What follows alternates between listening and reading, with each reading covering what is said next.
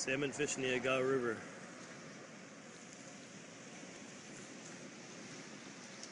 My brother Mike on the kayak. Little nephew Daniel. Brother Dan. Beautiful place.